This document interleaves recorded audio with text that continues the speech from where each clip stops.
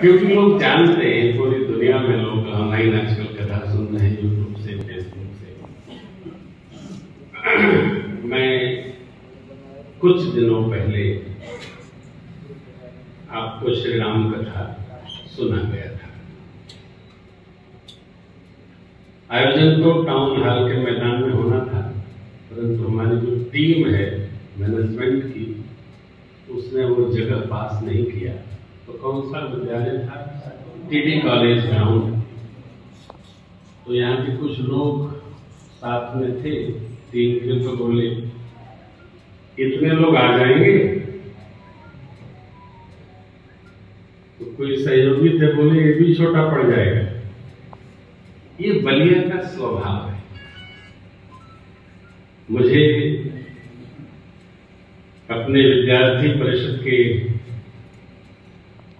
कार्यकर्ताओं ने इस पद क्या नाम रखा है सम्मेलन का? स्वर्ण भारत के पुनर्निर्माण के सत्र में बुलाया है। विद्यार्थी परिषद का मैं कार्यकर्ता भी था तो लोग हमको अपना ही मान करके व्यवहार करते हैं।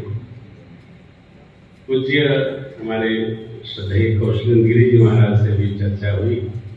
मैंने कहा, जब आप थे तो मुझे क्यों बुला लिया? बोले, नहीं, मैं भी रहूँगा आप भी आ जाइए मैं कुछ राष्ट्र जीवन की दिशा से संबंधित चर्चा आपसे करूँगा। देर हुई है वस्तुतः। ये भजन का समय नहीं है, भोजन का समय परंतु हम लोग जिस यात्रा में हैं, आप तो अभी भोजन करके विश्राम में चले जाएँगे। मुझे यहाँ से दो बजे रात को पटना पहुँचना है। और पाँच बजे वहाँ से छह घंटे की यात्रा करके गिरिडीह कल मेरी कथा गिरिडीह में प्रारंभ मैं। इतनी लंबी यात्रा करके केवल इसलिए आया हूँ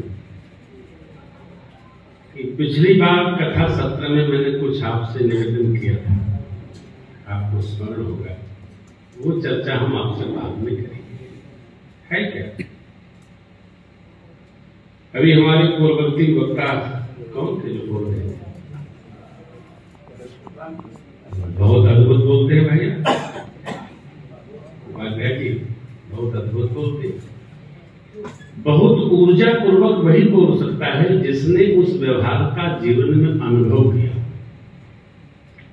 क्योंकि तो अनुभूति ही वचन में उपस्थित होती है। देखिए, सूत्र स्मरण रखिएगा, भाषा